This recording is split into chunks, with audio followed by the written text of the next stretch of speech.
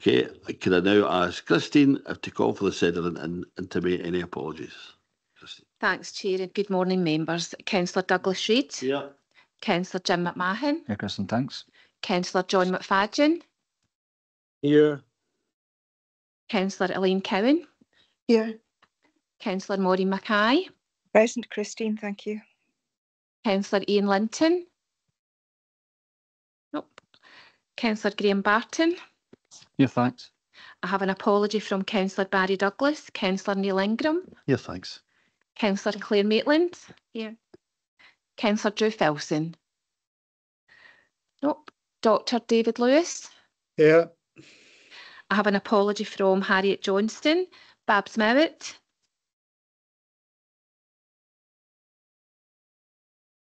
I think Babs was on, she might have get kicked off, we'll just keep an eye on that. Hazel Malacotti Yes, thanks. and Jackie Livingston. Yes, I'm here, thank you. Thanks, Chair.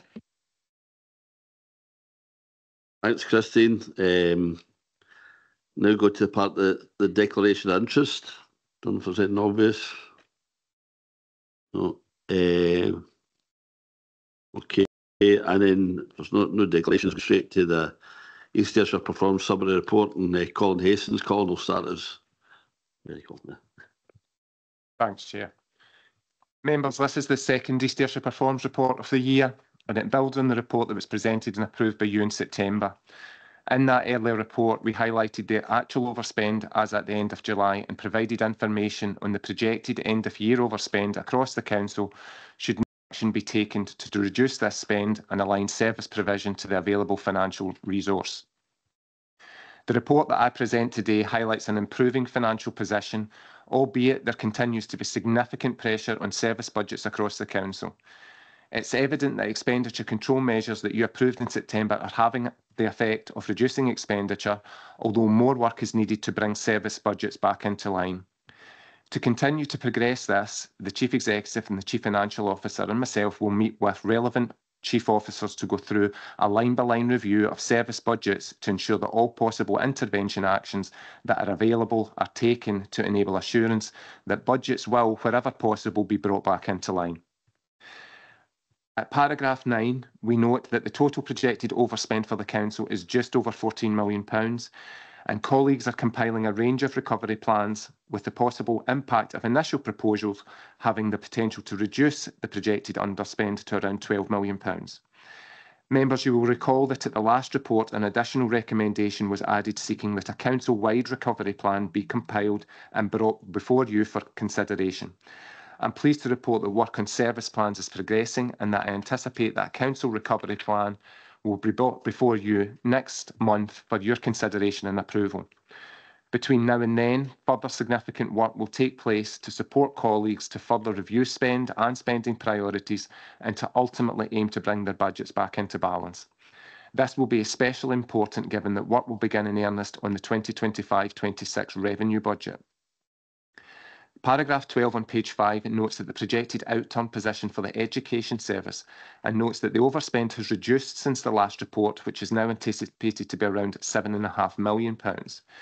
Members, you will be you are aware that this is a budget that has experienced pressures for some time, particularly in relation to the early learning and childcare service and the additional support for learning function, where we have continued to see significant overspends.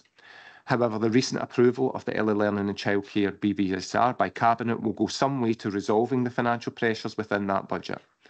Moreover, colleagues in education are working to develop options around additional support for learning transport, with these being brought before Cabinet prior to the Christmas break. It's important to note the comments made at paragraph 14, which shows that that early potential options around the education service are being investigated and progressed at this point, totalling £2.3 million, which, if approved by Cabinet at a future date, have the potential uh, to reduce the service overspend to around £5.3 million. Members, the Chief Executive, the Chief Financial Officer and myself are working tirelessly to support service colleagues with their recovery plans, given the importance of maintaining a strong financial position for the Council. Paragraph 15 notes the significant progress made by colleagues within communities and economy, which is anticipated to end the year in a balanced budget position. However, it is important to note the pressures that exist within these range of services and the impact of some of the earlier options that were approved to balance the budget this year. Given the importance of these budgets, together with the substantial work that colleagues have undertaken to bring the budget back into balance, it continues to be essential that support is provided to colleagues within these service areas to help continue this important work. Members will see from paragraph 17 that approval is sought for a draw of £300,000 from the Council's Repairs and Renewals Fund to support two essential pieces of work around active travel and in relation to resurfacing work on the A71. Paragraph 18 of the report seeks approval for the extended move from HVO fuel to diesel for the council fleet, and members will recall that earlier approval for such a move in respect of our waste collection vehicles was recently approved as part of the waste review. Within health and social care, paragraph 19 notes that the service projected to end the year around £7 million overspent, with pressures predominant relating to community care as the service continues to experience legacy issues from the pandemic. This quarter, two financial this quarter two financial position is based on the recovery plan that was presented to the Integration Joint Board in August being fully achieved.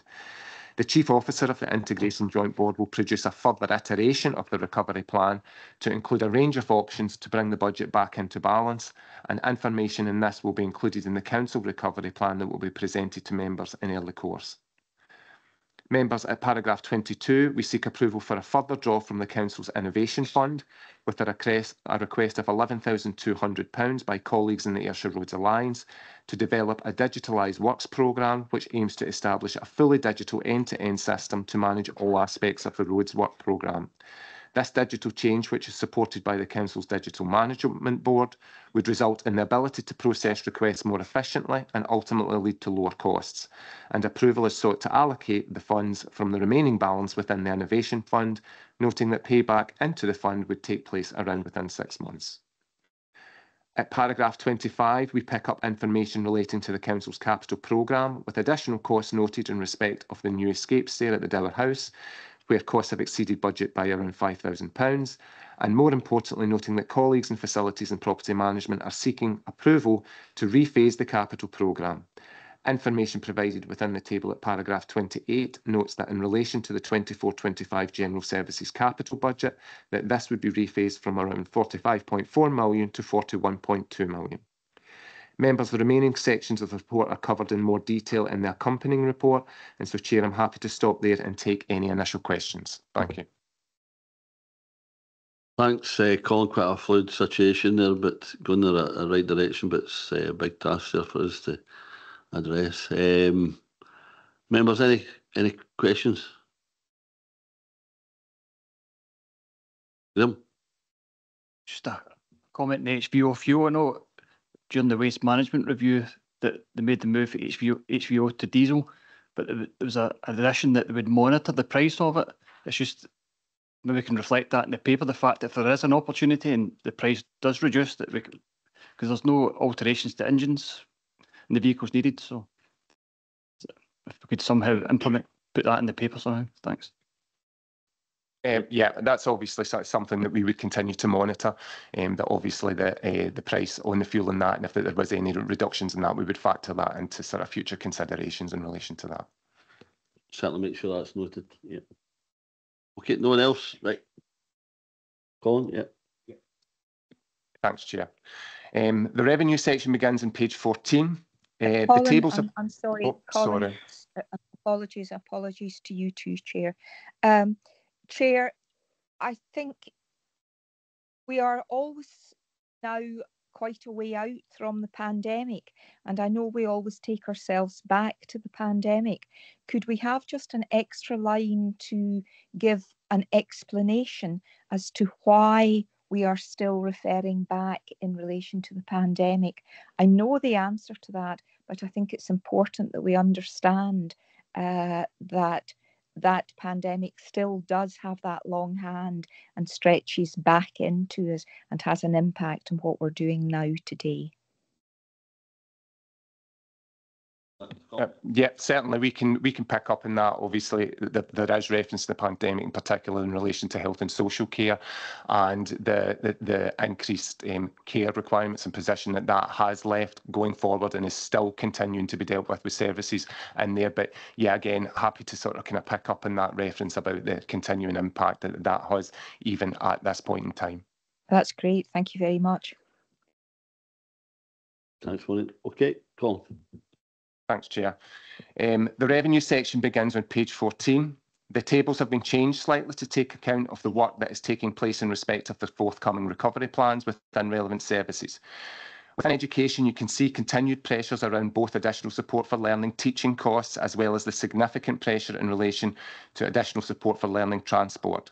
Moreover, the service highlights that the central budget held in respect of secondary and primary school absence cover will end the year significantly overspent as the Chief Education Officer provides additional financial support to head teachers to support temporary supply teachers to cover within schools.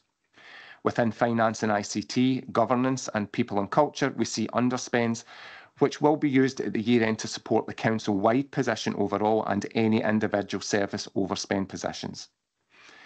Members, you will recall that the previous East Ayrshire Performs report contained a recovery plan for communities and economy, and I believe again it's important to recognise the work that colleagues in these services have undertaken in recent months to bring, bring the projected overspend back into balance. We see from today's report that communities and economies anticipate to end the year in a break-even position should plans progress, but we also must recognise the pressures and challenges that remain within these services and the support that will be needed to provide sustained financial stability going forward. Within wellbeing, the report highlights an overspend of just under £7 million projected at this point in time. It notes that this is after the application of 1.6 million cost reductions based within the initial recovery plan that was produced some months ago. As noted earlier, the Chief Officer of the Integration Joint Board will produce a further iteration of that recovery plan in order to bring the overspend down further. On page 18, information in relation to the housing revenue account is shown. It shows that the HRA is anticipated to end the year around £400,000 underspent, with additional costs being offset by lower than anticipated debt charges. On page 20, the Council provides further detail and narrative around the Council initiatives that were approved by the Council in February 2024 as part of the budget. They show the allocation provided and the spend that is being incurred in the delivery of the initiatives, with information around half-price school meals, clothing grants to three and four-year-olds, and additional works carried out to roads and pavements. Pupil Equity Fund information begins on page 22 and shows the allocation across our schools and the planned spend against the £4 million Pupil Equity Fund that was allocated by the Scottish Government. We note that the expenditure of around £1.8 million has already been incurred, with £2 million of planned spend anticipated to take place between now and the financial year end. The analysis also shows that some schools plan to carry forward around £175,000 of uh, PEF between April and the end of the academic year in June next year. The alternative delivery model section contains financial analysis of the Ayrshire Roads Alliance and the East Ayrshire Leisure Trust. It notes that ARA is anticipated to end the year overspent by around 1.3 million. The majority of this relates to spend within the local delivery element of the South Ayrshire Council due to higher costs in respect of street lighting, electricity subcontractors and new IT systems. Within the strategic delivery element of the Alliance, we see an underspend of around £260,000, predominantly due to savings in staff costs. And within the local delivery element of East Ayrshire, we see an overspend of 450,000 due to shortfalls in roads maintenance income, shortfalls in parking income, along with higher costs for street lighting, electricity, winter maintenance and consultancy costs. Page 26 and 27 contain details of the Ayrshire Roads Alliance capital section and include a range of information around roads maintenance and road slips, bridges works on the A71 and A735, alongside information on the new Cumnock flood scheme. In respect of the East Ayrshire Leisure Trust, we note a planned underspend of around about £10,000 at the year end. Information in relation to the Council's Treasury Management arrangements are contained on page 30. They show the maturity profile of loan debt and information on our investments. At the time of the report, the Council had outstanding debt of around 461 million pounds and notes that new borrowing of 55 million has taken place since the start of the financial year. It also notes that the council had around 67 million pounds of funds invested, with the majority of this placed with the Debt Management Office within HM Treasury. Chair, again, I'm happy to stop there before passing to, across to colleagues for the capital, people and health and safety sections. Thanks, Colin. Any questions so far? Elaine? Thank you, Chair. Just a, a quick question about the alternative delivery models. On page 25, uh, the commentary for East Ayrshire, it mentions there's a winter maintenance cost, but I don't see a, a corresponding uh, cost in South Ayrshire. So I'm just wondering what, why there was a difference there.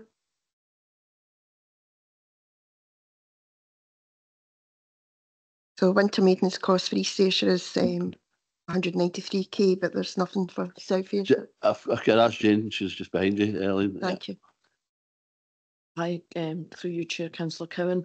Um, so there would have been an increase in cost in South Ayrshire as well. I, I believe those increased costs are due to the cost of salt. So there would have been a comparable increase in cost in South Ayrshire as well. Not sure why that's not been drawn out as uh, in the actual uh, wording there of the report, but I'm sure that that does exist in both areas. Okay, Okay, can I maybe ask just another, uh, another question in terms of the road element? Just I know there's been a, a lot of uh, anxiety and issues about the essential work that we're having to do up there in Valley between Galston and Newmilns following the fatality. Uh, I believe there's an update in terms of uh, the restrictions. We've tried to minimise them where we can because I know the community much the work needs to be done. But uh, can we have an update on that, Jane? Yeah, of course. Um, so the restrictions were going to be in place over a weekend as weekend closures through the working day, but that's been agreed with the contractor now that that's been changed to nighttime working. So the road closure will be over three working nights, and I believe that to be this coming Monday through to uh, Wednesday. Yeah. That's uh, that's that's helpful. Um, anyone else? Jim, sorry. Uh, thanks, Chair. Colin, I wonder if you could maybe enlighten me a wee bit. Uh, the recent announcement with increased uh, national insurance and employees. Been told that would be fully funded, but my understanding as far as the housing revenue account, that might not be the case. Could you maybe just touch on that for me, please? Uh, yeah, certainly. Yes, well, obviously, we, um, following the budget, there has been um, announcement of changes to national insurance increase the rate and in relation to the banding. Um, as it stands, um, um, we are obviously sort of kind of looking forward for looking for information coming forward to us um, on relation to the financial position that we'll have on the council at this moment in time going forward into next year in terms of the budget, we are making the assumption that that will be fully funded. Um, but again, you're um, right to sort of make reference to the housing revenue account, which obviously is a ring-fenced fund which finances it itself. So um, any uh, potential any changes there will have a potential impact on the employee costs within the housing revenue account. Thanks, Colin. So there is potential for it to have an impact on it. Yes. Okay, thanks. Thank you very much. Could I ask a question, please, going back to the uh, valley uh, in terms of is there an additional cost because we are spreading that work out over three nights uh, as opposed to how we had proposed to do that? Thank you. Thanks, Maureen. Uh, it's uh, it's Jane. Something the, the, your hand doesn't seem to come up. I don't know if there's something wrong with the computer, Maureen, but we'll try and make sure that's fixed. I don't know. Uh, Jane. Yes, Councillor Mackay, um, the, the work's been let through our framework contract and there is a small uplift charge of 15% on some of the items for nighttime working that will, will be applied. So yes, there is a, a slight increase in costs.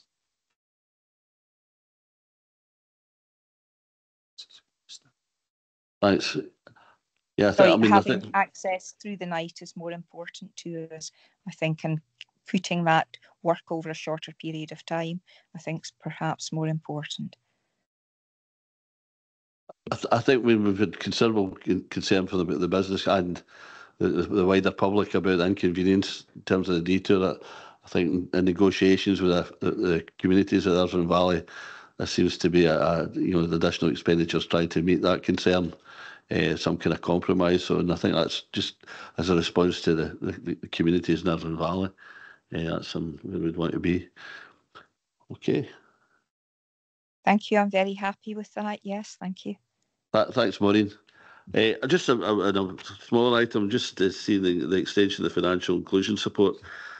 Nearly another million pounds of financial gains to some of our poorest families. I mean, that's uh, an incredible, an incredible result there. You know, in, in, in terms of getting money into people's pockets, and uh, you know that just started getting into one particular uh, school campus and widened that out, and that's really bringing money into people's pockets. And I'd just like to thank the staff for all their all their work there, Colin. If you can pass that on. Anyone else? Okay. Uh, now. I'm happy to carry on and yeah, then we come yeah. back to the capital and other sections. Yeah. Um, so I'll progress on in relation to the business briefing section.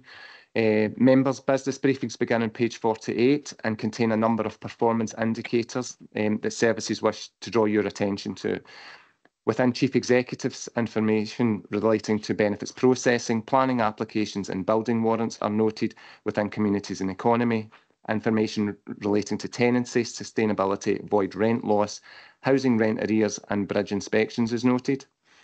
Complaints begins on page 56. We note that 37 complaints were received within the period and nine were carried forward from quarter one. The improvement actions are as noted at the foot of page 56 and the time taken to respond to complaints is contained in the graph on page 57. Members, the corporate risk register begins on page um, uh, in the risk section. No new risks have been added to the register, nor have any risks changed their status at this time. The risk register was considered and reviewed by the council management team on the 24th of October. Chair, I'm happy to end there and um, pass forward to any colleagues for uh, the capital, people and health and safety sections. Thanks. Uh, maybe bring the chief exec in first about the business uh, briefings. Uh, first, Colin. Thanks. Uh, Thanks, Leader, and I've already indicated this to corporate management team.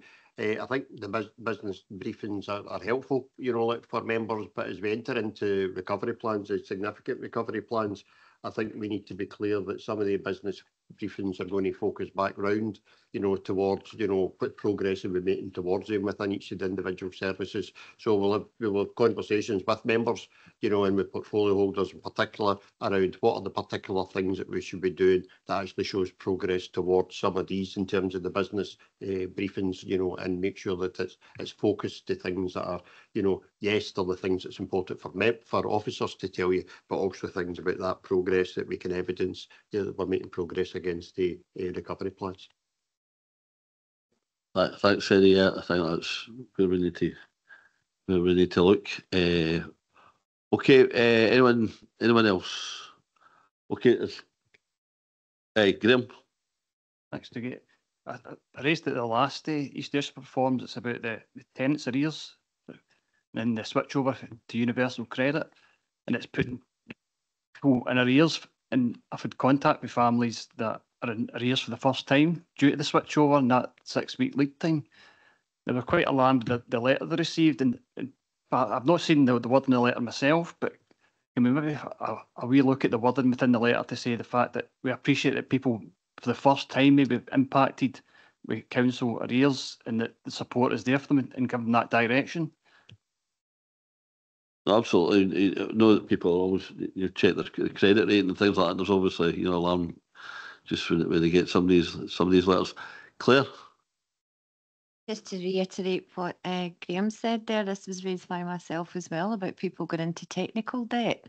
And I think we've got to keep a really close eye on this. And if we're having letters going out to them that are quite, you know, distressing as well, we're just adding to the, the complication. Thank you. Okay, we'll certainly take that back and uh, see what we can see what we can do. We'll get back to members. Okay, um, Colin, is that Just any capital next? Is that just to pass forward to Simon to take through the capital. okay? Yeah, Simon, if you want to take us through the capital report. Yeah, Thanks, Chair, and uh, good morning, members. Um, The capital programme continues to face financial challenges uh, due to high construction costs and high interest rates, and projects are being closely monitored to try and ensure essential scopes aligned with affordability caps. As usual, um, I'll not go through the report in great detail, but if I could highlight some key points for a selection of projects. Um, starting with completed projects, uh, with the SHIP programme development at Kennedy Drive in Kilmarnock, the first two phases of homes have now been handed over and the remaining two phases are due for completion by January next year. There's approximately £27 million of construction contracts currently on site, and that includes the St Sophia's Primary School EnerPHit refurbishment and the Galston Library project. Um, both of these are progressing well and anticipated to complete spring of next year. Uh, we also have the demolition of the multi-storey car park, where works commenced in September and are due to be completed by April of next year. And moving to projects at a detailed design stage, these include the Cultural Kilmarnock project, where a favourable review of the project's now been completed by advisors engaged by the UK Government. And the review will support the project adjustment request, which is due to be submitted to the UK Government um, later in November, seeking an extension to the current March, March 2026 deadline. The design team and the preferred contractor have also commenced market testing for the works. Um, at Stewarton Academy, designs for extension and refurbishment have been revised around about future growth projections and essential needs, and works also in progress with planning development colleagues to ensure that developer contributions are maximised where possible as a means of offsetting cost pressures associated with the project. Projects at the earlier stage of development include the Ayrshire Engineering Park and Ayrshire Manufacturing Investment Corridor at Moorfield as part of the Ayrshire Growth Deal, with an outline planning application for the master plan now submitted and design work progressing well. Discussions are ongoing with Scottish Power Energy Networks regarding costs associated with the electrical network upgrade. It's anticipated that phase one site infrastructure works could commence uh, in spring of next year. At the Galleon Centre, work's ongoing with the key stakeholders to develop uh, an optimum procurement solution and scope of works for refurbishment and alteration of the facilities.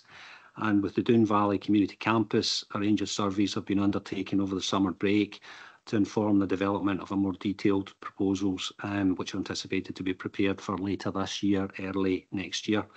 Uh, positive discussions are also ongoing with Scottish Futures Trust in relation to the previous LEIP 2 funding and how the revised project may still be able to meet the funding criteria.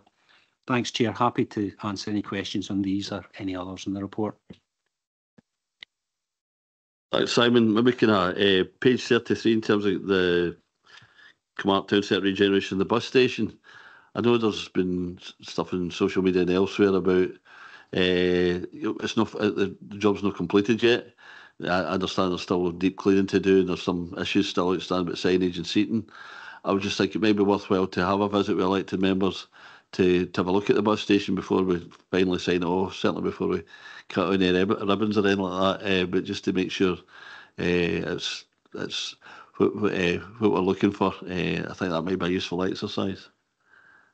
I see a lot of heads nodding there, so. Uh, Yeah, thanks, Chair. Happy to arrange a, um, a walk round. Um, we are kind of um, concluding the contract in terms of the contractual works just now. I think as I've reported previously, there has been some delays associated with it um, in relation to additional work. There was steel, steel work supply issues um, and there's also been some adverse weather which has impacted progress. But on the positive, um, there's there's some cladding works that I know of still to be completed, and then there's resurfacing of the car park where the site accommodation is just now is the kind of last phase, and I'm advised that's that's due to be completed by 22nd of November.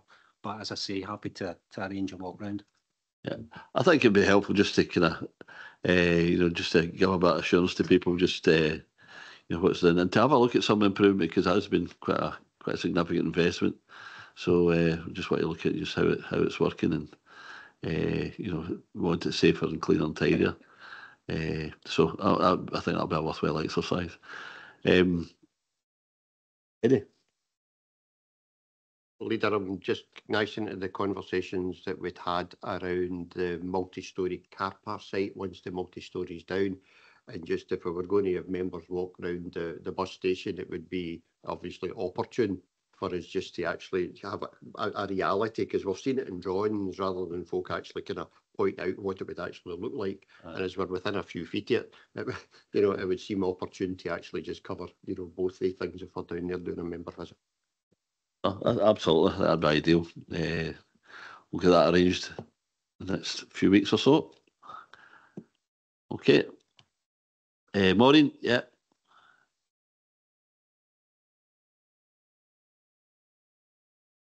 Hi, Maureen.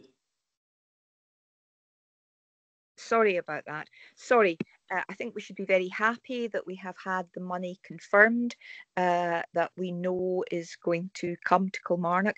That I'm sure will give us a great boost going forward. And I just want to be grateful to everybody who has put any effort into uh, that work. I know it has been uh, ongoing, and I know once there's a change of government, people are always anxious uh, as to what's actually going to happen. I think everybody has done very well that we actually have secured this project going forward. That's positive. It will benefit us all. Uh, I'm quite sure. Uh, yes, I'm very pleased with the way things are progressing in relation to the bus station. I know that there are internal works actually taking place, and I know that there is significant external commercial investment actually in the whole uh, profile of all sort of uh, bus issues uh, around Kilmarnock, and that's something that's to be welcomed, I think, for all of us. So I do think that there are even although things are very tight at the moment, I do think that we are still managing to make good things happen. And I'm very uh, happy to have that walk round uh, when we expand up and we look at that wider area. I think that's a positive thing. Okay, uh, thanks, Maureen. Yeah, uh, we'll look forward to that. I'd just like to thank the, the folk in terms of the, the town board. I know that they, they, they, they put a bid in some, uh, you know, I think in front of many other uh, many other towns, uh, and I think that was quite a, a big effort from the, the people in the, the town board and the, the chair and the rest of the folk in, involved. Uh, just like to express our thanks to them for, for doing such a good job. Okay, anyone else? Uh, okay, the next bit is Amanda. Thanks, Chair. Morning, members. The people pages uh, within the summary report start on page 36, with the statistics for absence being in page 37. For this period, there has been an increase in the number of employees absent and the number of days lost, which has resulted in an overall rise of 0.66 work days lost. The top five reasons for absence for 23 24 and 24 25 are noted, and note, I would note that the top three have remained the exact same as the previous year, with personal stress being first, musculoskeletal, and then operations recovery. Page 39, 38, sorry, details occupational health activity. You will note a decrease in some of the appointments. This has been due to, as previously mentioned, we have a, been going through a transition period to our new occupational health provider. Um, so there's been, um, unfortunately, the previous provider were not very helpful in that transition. Um, so it's caused a, a few issues, but we've got everything in place now and we're moving forward and feel as if we're on a positive footing with the new provider. In addition, within um, the absence section, I would also note that um, members agreed to monies to support additional capacity to support our services. So the recruitment process has been ongoing and we're now ready to launch that team, the support and attendance and wellbeing team next week. We're nearly fully um, staffed. We've still got one vacancy to fill.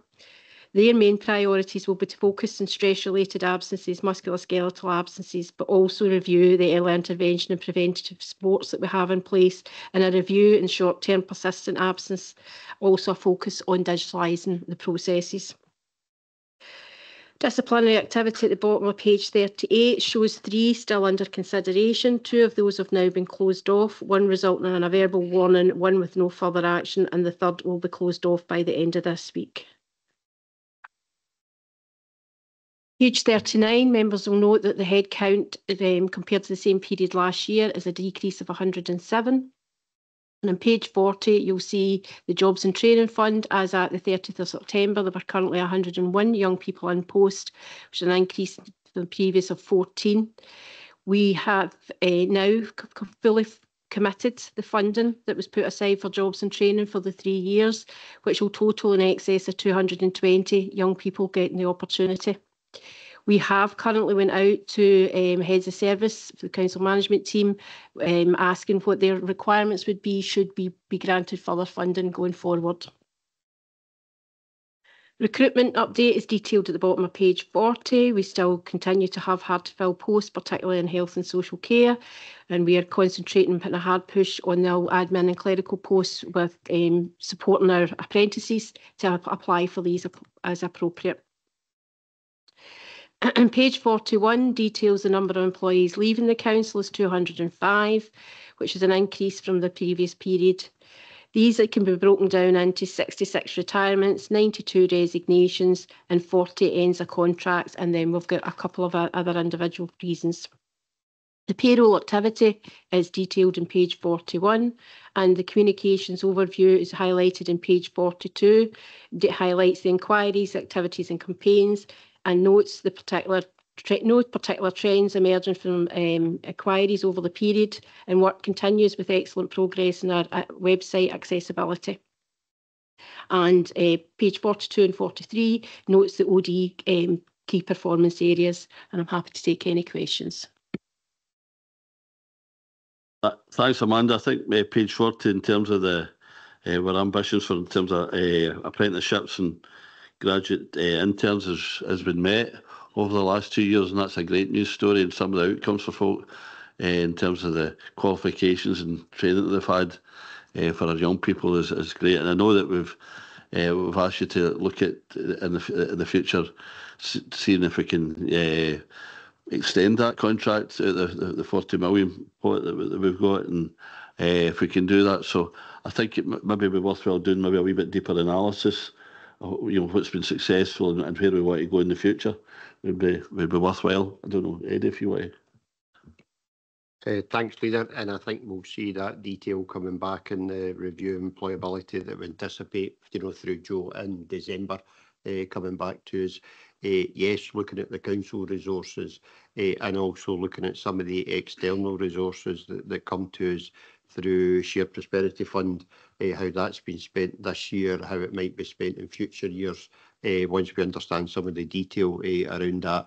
But we do see significant areas of our, own internal business uh, that we think we can invest in, including some of the areas that we've maybe not directly done that in the past, like health and social care, etc., that there are opportunities to, do that. So definitely, you know, we would want to look at, as you requested, as at a previous meeting, to look at our you know, early intervention and prevention funds in terms of employability, but also need to look at where the current money spent to make sure that that's focused in areas of our priorities too. Thanks, Eddie. And it's just to look at, you know, the, a diverse approach to that. And I think I was really taken aback as I think I did, did the, was it the president, COSLA presidential team visit to SL66, how transformational that, that has, uh, has been that investment to some some of our uh, younger people and uh, people, you know, that probably wouldn't otherwise get the appropriate training that they need. Uh, and it's absolutely transforming lives. Uh, so that's good to see. And hopefully, if we can continue that in some form, that'd be, that'd be really good. Elaine.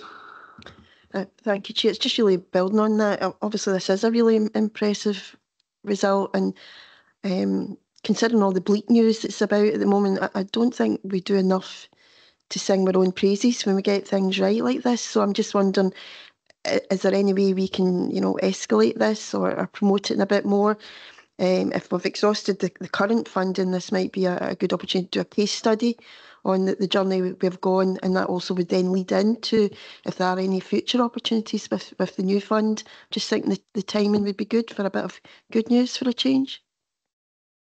Yeah, Eddie, I think that's absolutely worthwhile, and I think you know just that further work you know we really need to do as, as soon as we can, just to inform that uh, choice, Eddie.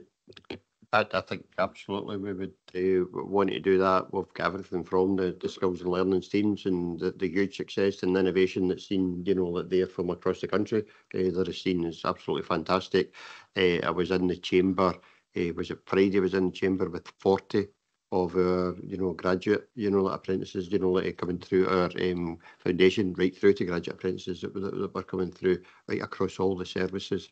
And it was just fantastic, you know, it was just absolutely fantastic to see, uh, you know, like Councillor Ingram was, was clearly, you know, with me at that uh, and, and seeing the number of people that were actually coming through and the real benefit to the council. This is not a one-way street. This is a massive benefit to the council that we're actually seeing uh, coming through here. So, so, yes, we can look at how we we draw that together and and promote that, um, and and think of it on the different levels uh, of the support to individuals, you know, the work in terms of addressing poverty, because let's not be, let's be absolutely clear that that's what we're doing in terms of that, and then going right through to the benefits to the council. So happy to do that. Maureen, sorry. Uh, again, I think it has been positive. I think there are more positives still to come in relation to that. And I'm quite interested in just getting just updated in terms of we're obviously working with private sector businesses as well and just to get a sense of what successes we're actually having uh, with some of the placements that we're managing to do and some of the jobs that we're managing to grow within that area as well. So if we could just have perhaps a couple of sentences on that, Chief Exec, that would be a help. Agreed, uh, Eddie, yeah. Uh, absolutely, and and I know um, Chief Financial Officer, who's obviously leading the review of employability, um, has met with a number of different groups, and that's included the groups of people external to the council who are actually benefiting from some of our employability funds. And and the whole purpose of all that is to draw that all together uh, to bring back to yourselves as members for us to actually look at making sure that all our activity avoids duplication and is focused on our priorities going going forward uh, for that. So happy to make sure that that's included in the report that Joe brings in December. Thank you very much. Thanks. Uh, yeah, absolutely look forward to that. Anyone else? Okay, um, David now with health and safety briefing. Yeah. Oh, thanks, thanks, Chair, and uh, good morning, members. The health and safety report covers page five and six and if I could just begin by drawing members' attention to the top of page 45 of the summary report, we noted that there were 370 non-reportable incidents uh, through to the health and safety team, and that represents a reduction of 25 incidents in comparison to the same period last year. While incidents reported to HSE have also reduced slightly by one.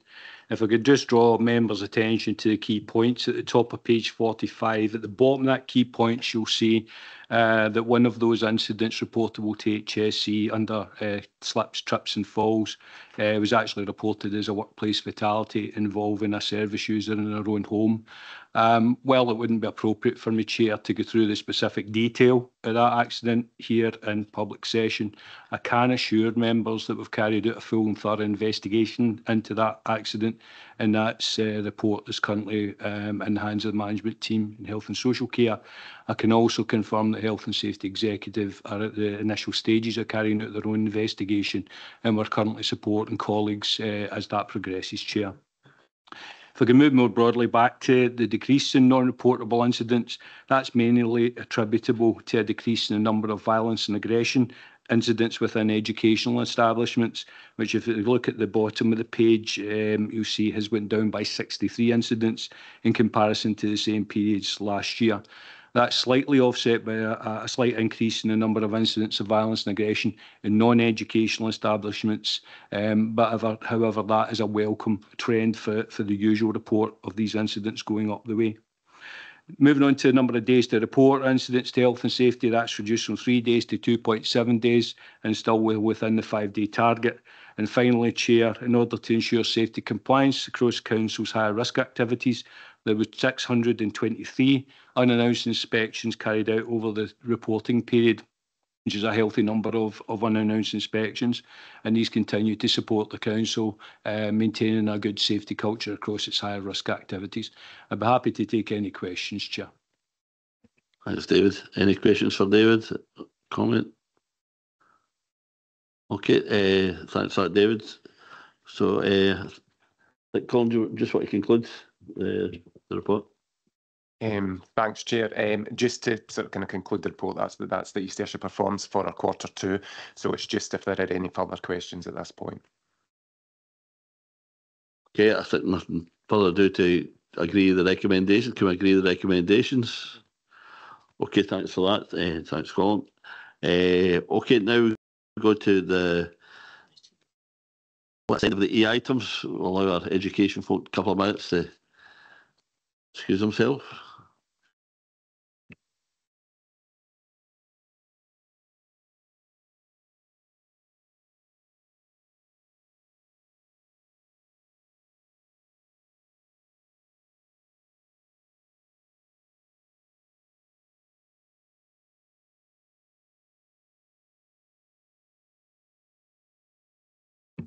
Okay, and now going to the Kilmarnock Christmas parking arrangements. Uh, over to Jane. Thank you, Chair. This report provides an update to Cabinet on the effectiveness of the December 2023 Christmas parking arrangements in Kilmarnock and recommends that Cabinet agrees to the implementation of the same parking offer during December 2024. The 2023 arrangements allowed for free parking in all on and off street locations in Kilmarnock after 2 pm throughout the month of December.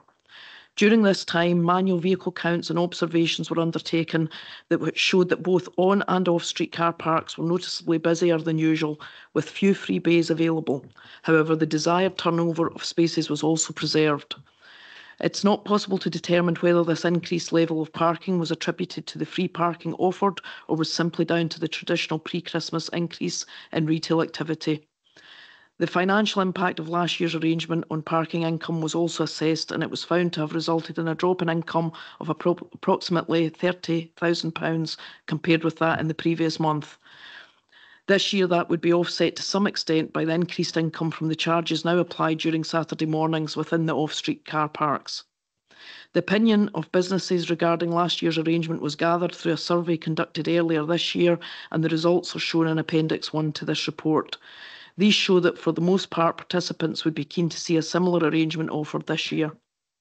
Given that last year's arrangement was successful in terms of providing cheaper parking whilst ensuring the turnover of spaces, it is recommended that the offer of free parking after 2 pm during December is repeated again this year. Happy to take any questions. Thank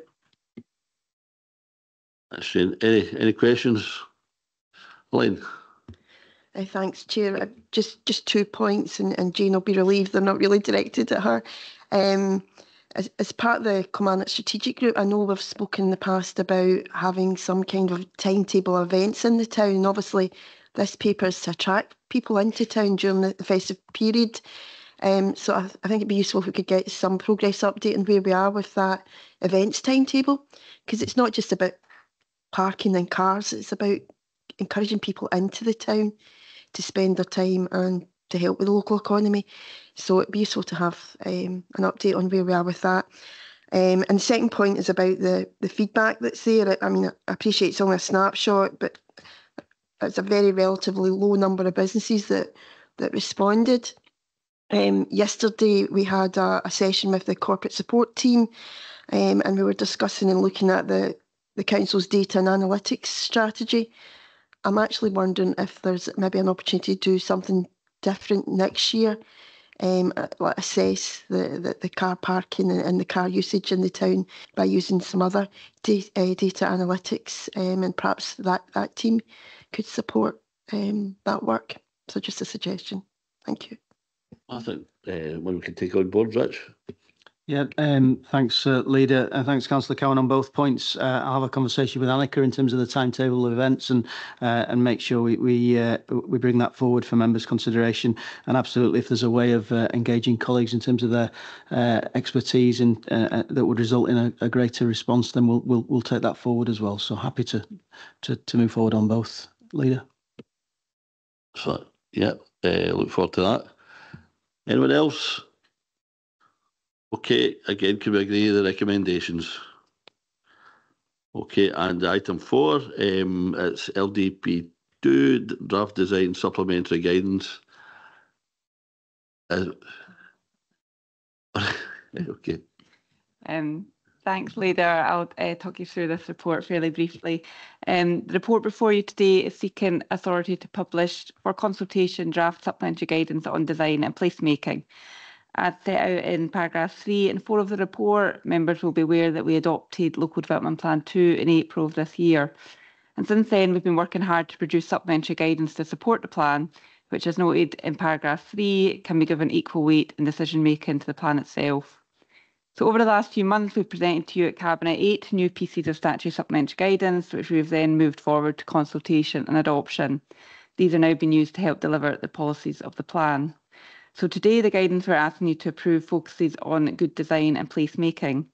As described in paragraphs 5 to 6 of the report, a vital part of LDP2 and indeed National Planning Framework 4 is to raise the quality of development and create places that put people and communities first.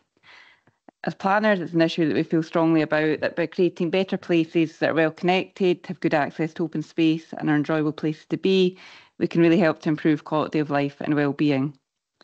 So the draft supplementary guidance itself has been placed in the members portal. Um, it's a big document. It's made up of five distinct sections. And whilst the sections complement each other, they can be read as standalone documents. So not all will be relevant to all development proposals. Section 7 of the report just summarises each of the sections. Um, so just to outline what these are without going into too much detail. Section 1 of the guidance sets out the key design principles that we will expect all developers to consider and demonstrate. It sets out at the outset that good design and placemaking will be a fundamental consideration in determining planning applications in East Ayrshire. And it calls for early collaboration between developers and the planning authority, recognising that any problems or issues with design can be more easily resolved earlier in the planning process that we are. Appendix 2 tackles green and blue infrastructure. This is a really important element of the guidance. Um, green infrastructure or open space should be provided in new places, but it should not just be a tick box exercise to meet policy thresholds. The guidance requires good quality, usable open space that benefits both residents and nature. Appendix 2 provides guidance for householders on amendments they may be thinking about making to their houses, such as extensions, outbuildings, etc. So it's much more about smaller scale developments. Um, this is important to make sure that householders know what they can do um, with some knowledge of what will be supported by the planning authority. And it will reduce the chance of impacting negatively on neighbouring properties and the wider residential area. Appendix 3 is shopfront guidance, and it's really a refresh of previous LDP1 guidance that we had. Um, it recognises the impact that good and bad shopfronts can have on creating welcoming town centres and commercial areas. And finally, Appendix 4 of the guidance provides uh, guidance on adverts, helping to ensure that all adverts proposed meet legislative and best practice requirements. Um, there are just a couple of other parts of the report that I particularly want to draw attention to. In terms of process, paragraph 8 outlines that if Cabinet approves the document, we will consult on it before submitting to Scottish Ministers for final sign-off. Our recent experience has been that ministers have not intervened with any of our pieces of supplementary guidance, allowing us to proceed straight to adoption, and we would expect this to be the case with this one as well. As per the recommendation, we would return to Cabinet um, if the consultation feedback return results in substantive changes to the document, or indeed ministers do request changes. Finally, but importantly, paragraph 15 under risk implications confirms that there is a time constraint to adopting this guidance Legislation sets a March 2025 cut-off for the adoption of any statutory guidance, and government officials have requested that we, if we can, submit all guidance to them by the end of this calendar year, so by the end of December. Um, this is still achievable with this guidance, just however, any delay to this consultation commencing will impact on this. Um, in any case, we will work closely with our government colleagues in terms of the timescales and submission to them.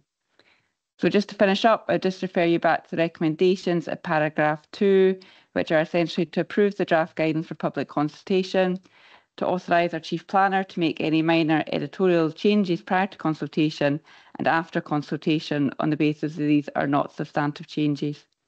To then proceed with adoption procedures following consultation, again on the basis that there's no intervention made by ministers, and to otherwise note the contents of this report.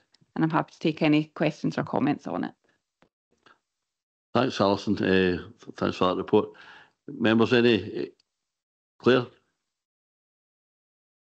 Thanks. Just a quick question on the um, the appendix three on the shop fronts.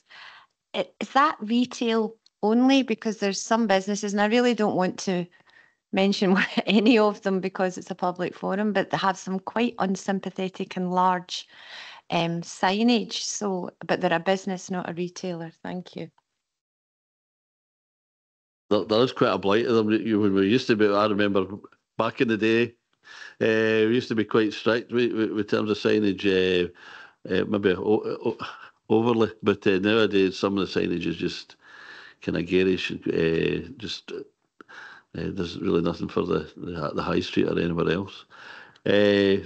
Pamela or, or Alison? Um, yeah, so certainly the the shop, the, the two appendices are quite similar, the shop front and then the advertising one.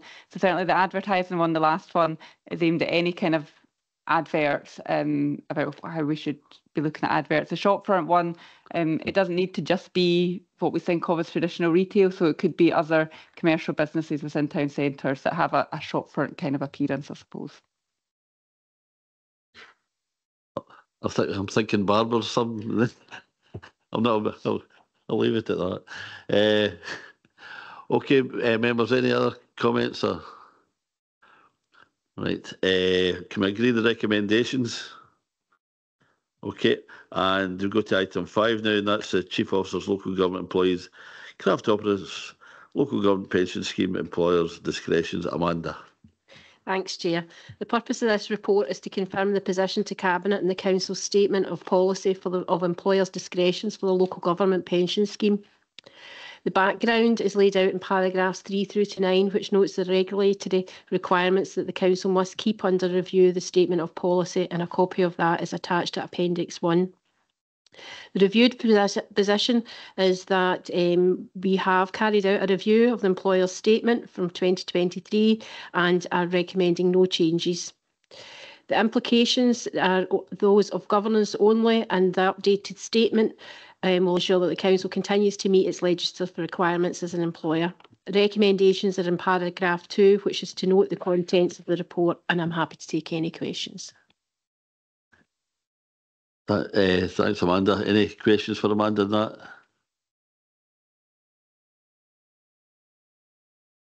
Okay, can we agree recommendations?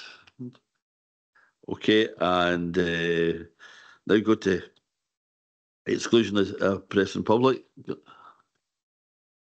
move exclusion of press and public.